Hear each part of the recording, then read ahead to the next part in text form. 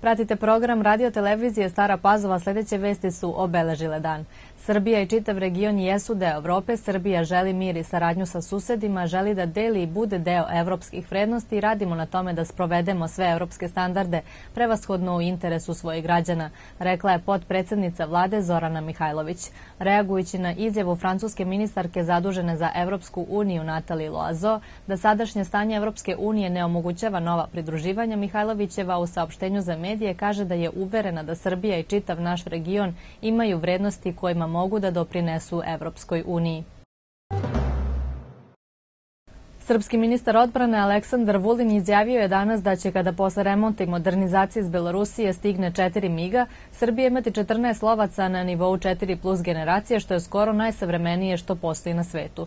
On je dodao da će Srbija imati nove helikoptere i podsjetio da treba da stignu tri nova helikoptera Mi-17, 4 Mi-35 i 9 HAT-145, od čega 5 za vojsku Srbije, a 4 za MUP.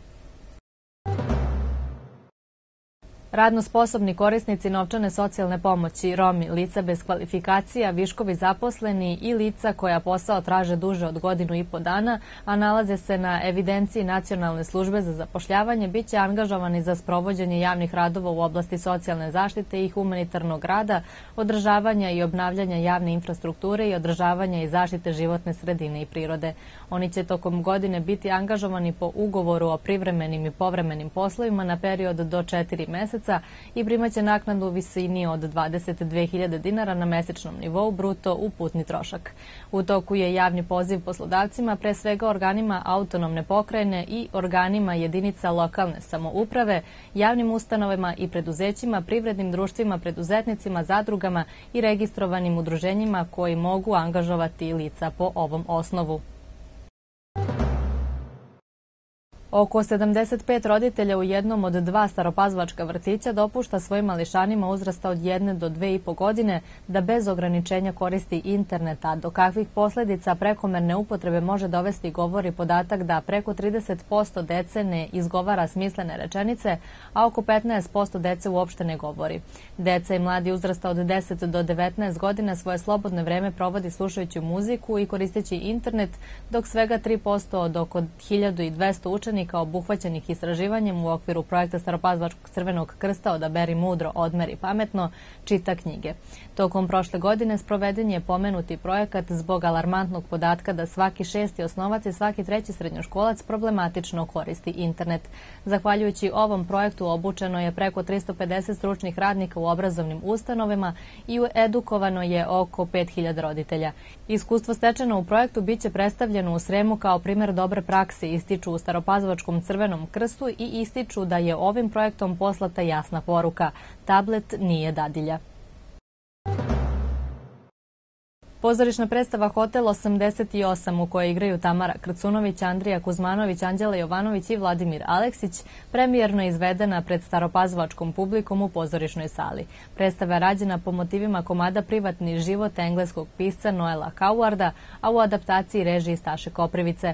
Pozorišna sala u Stare Pazovi bila je ispunjena do poslednjeg mesta. Posle gostovanja državnog posla, ova predstava bila je drugi profesionalni program u ovoj godini koji je izazvao veliko interesovanje ljubitelja pozorišne umetnosti u ovom kraju.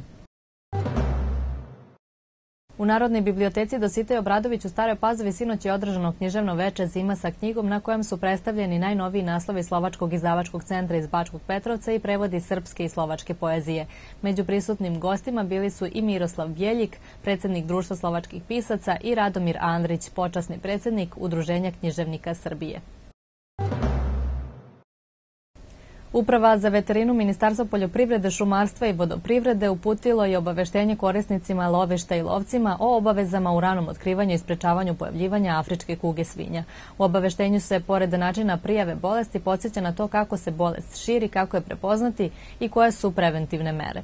Resorno ministarstvo podsjeća da je u pitanju virusna zarazna bolest domaćih i divljih svinja, vakcina protiv ove bolesti još uvek ne postoji. Udruženje Tatamate u saradnji sa humanitarnim nizom Delez Srbija, Bankom hrane Beograd, Udruženjem Dobra vila za vas i Crvenim krstom Stara Pazova za sutra najavljuje još jednu humanitarnu akciju. U jutarnjim satima ispred Staropazvačkog doma zdravlja deliće građanima limu na isti će pokloniti i predškolskoj ustanovi Poletarac. U pitanju je oko 600 kg limuna, a pre pet dana jagodama su obogatili obroke narodne kuhinje Crvenog krsta u Stare Pazovi. Iz elektrodistribucije obaveštavaju da će zbog elektromontažnih radova sutra u Staroj Pazovi bez struje ostati potrošači ulici Jana Kolara u periodu od 8.30 do 11, a od 11.30 do 14 časova bez struje će biti potrošači u ulici Zmajovina od početka do Stare Dijane.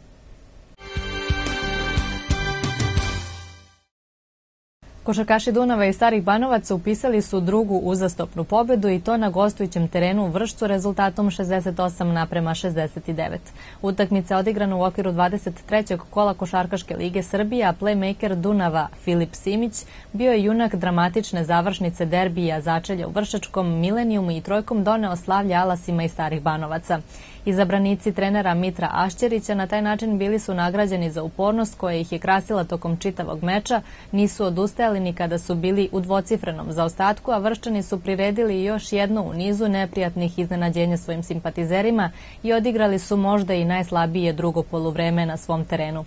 Nakon ove pobede, košarkaši Dunava su stigli do osme pozicije na tabeli. Utakmice petog kola mini lige play-offa Super lige Srbije za odbojkaši i odbojkašice igra se sutra. Lideri na tabeli odbojkašice jedinstva putuju u Lajkovac gde će pokušati da nastave pobedonosni niz i upišu petu uzastopnu pobedu protiv ekipe železničara. Odbojkaši jedinstva koji su trenutno na četvrtom mestu na tabeli ugostiće lidera ekipu Vojvodine NSM iz Novog Sada. Utakmica počinje u 18 časova u hali u ulici Branka Radičevića u Staroj Pazovi.